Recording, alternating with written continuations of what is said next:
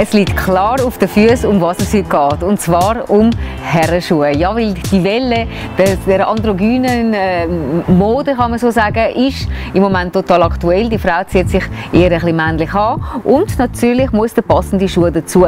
Das Lexikon, welche Schuhe wie heißt und wo mit was angezogen wird, eins zu eins jetzt bei uns. Was ist ein Derby, ein Oxford, ein Brogue, ein Budapester oder ein Double Monk?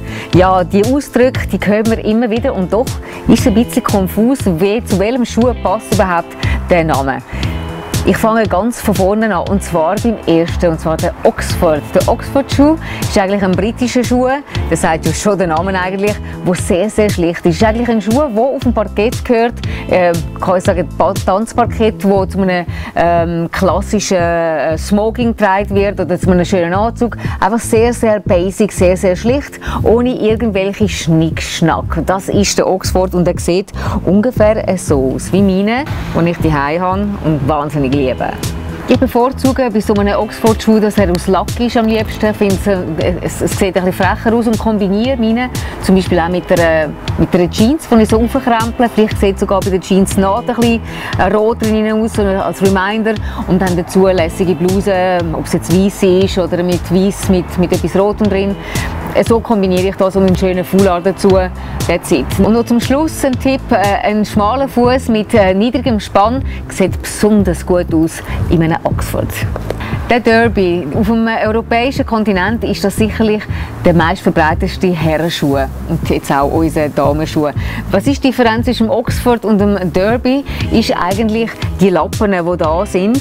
Es hat so zwei Schnürungen, zwei Lappen, die auf der Seite angenäht sind. Eigentlich hat es eine offene Schnürung, die viel einfacher ist zum drin rein, zum gehen. Und er ist aber auch schlicht, es hat noch keine Löcherungen oder Verzierungen, sondern er hat wirklich also die dominante Lappen, die überkommen. Das ist eigentlich der Derby. Ob jetzt in äh, Lack oder in normalem Leder, hauptsächlich sieht man aber den meistens mehr in normalem Leder. Und das ist die Differenz zwischen dem und dem.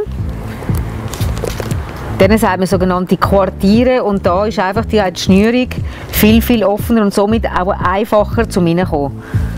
Und es ist eher so mehr Alltagsschuhe, die man wirklich jeden Tag kann brauchen kann.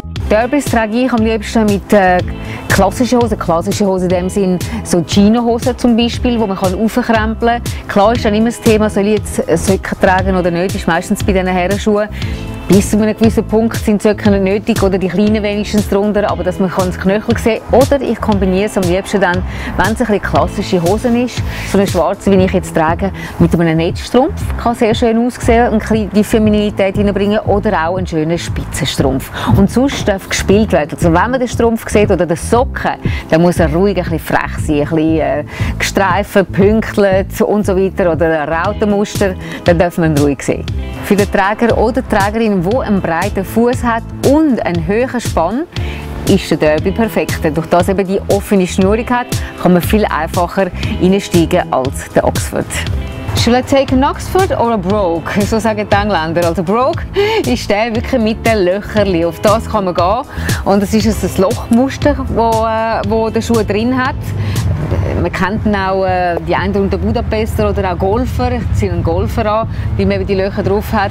Und äh, die, die Muster die haben auch ähm, einen gewissen Namen, so entweder Half, das heißt ein halbgemusterter, ein, ein Full Full äh, Brogue oder auch ein Double Wing, wo ganz bis äh, hingeht, wo der ganze Schuh äh, so quasi verziert ist. Und die Verzierung sieht immer ein bisschen anders aus und der Brogue sieht manchmal auch doppelfarbig aus. Also man hat das früher gesehen bei Mal Capone, so ein bisschen, äh, die Schiene, wo es doppelfarbig ist. Heutzutage äh, ist es in allen möglichen Kombinationen oder Farbkombinationen erhältlich. Ich finde ihn total lässig. Ich liebe ihn heiß. Entweder ganz schlicht in Braun oder in Schwarz, wie ich ihn trage, oder eben auch auch im Double Color.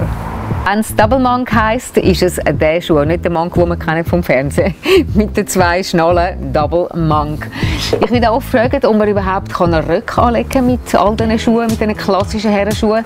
Ja, wer gerne ein bisschen den Stil ähm, College-Stil gerne hat, kann das natürlich mit so einem Midi-Röck, der, der über das Knie übergeht, vielleicht ein bisschen wallend mit einem kleinen Söckli. Aber ich denke, das ist eher für eine trendige Frau, die sich wohlfühlt und sicher fühlt in diesem Stil. An und für sich sonst ist es wirklich ein Schuh für, für Hosen, für eine Hosenträgerin. Äh, eben Jeanshosen aufkrempeln, Jeans, äh, klassische. Ich finde, es passt zu sehr, sehr viel und gehört eigentlich in jedem Kleiderschrank, in oder Schuhschrank.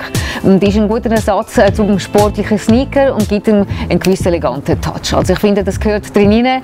Probiert ihn aus. Ich bin schon lange Fan davon. Ich hoffe, ihr seid es auch jetzt mit dem Tipp. Erhältlich wären die Schuhe, wenn Sie wollen, also die meisten davon, bei Ochsner